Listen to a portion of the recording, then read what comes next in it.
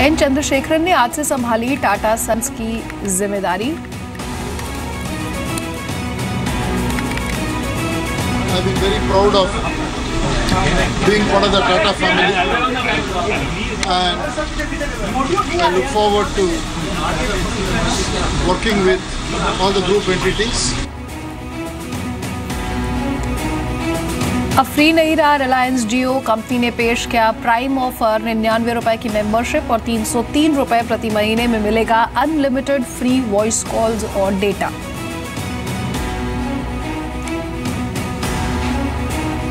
शानदार रिकवरी के साथ बंद हुए बाज़ार। सेंसेक्स ने लगाई सेंचुरी निफ्टी 8 सितंबर के बाद उन्यासी के पार बंद होने में कामयाब। बैंकिंग शेयरों ने बाज़ार में भरा दम।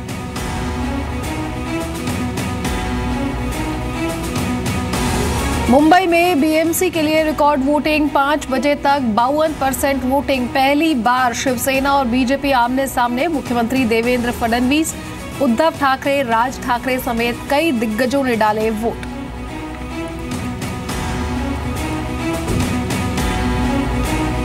बीएमसी चुनावों में सितारों ने भी जमकर डाले वोट। रेखा ने सुबह सुबह डाला vote. Master blaster Sachin Tendulkar, Tina Ambani, Gulzar समेत कई हस्तियों ने दिया वोट। गुजरात बजट में दिखी विधानसभा चुनावों की तैयारी की एक झलक। एक हज़ार रुपए में छात्रों को मिलेगा टैबलेट, बजट में 200 करोड़ रुपए रिज़र्व।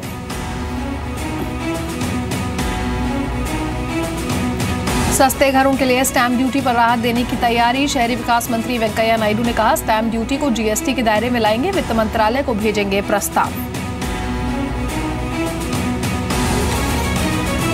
विजय माल्या को भारत लाने की कोशिशें तेज, भारतीय अधिकारियों की ब्रिटिश डेलीगेशन से बातचीत। ब्रिटिश अधिकारियों को दी गई मामले की ज़रूरी जानकारी। यूपी चुनावों के चौथे चरण के लिए थमा प्रचार। 12 जिलों की तिरपन सीटों के लिए 23 फरवरी को डाले जाएँगे वोट। इलाहाबाद में अमित शाह के बाद अखिलेश और राहुल गांधी ने भी किया रोड शो।